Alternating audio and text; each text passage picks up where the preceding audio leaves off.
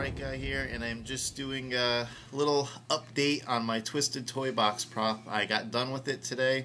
It's not totally finished, but the actual mechanism is installed, the lid is opening and closing, and I'm going to show you some video of that uh, just in a second.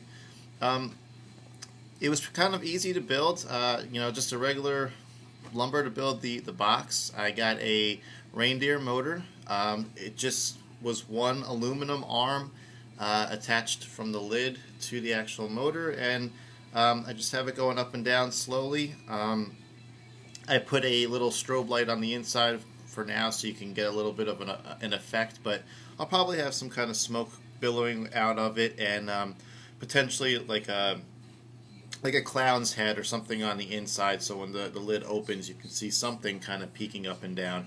So right now uh, we're working on the graphics to go on the outside of it. Um, I'm actually doing those digitally and going to have them printed out.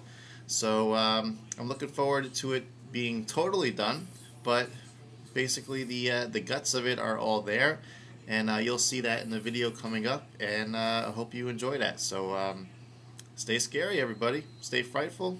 See you soon. Bye.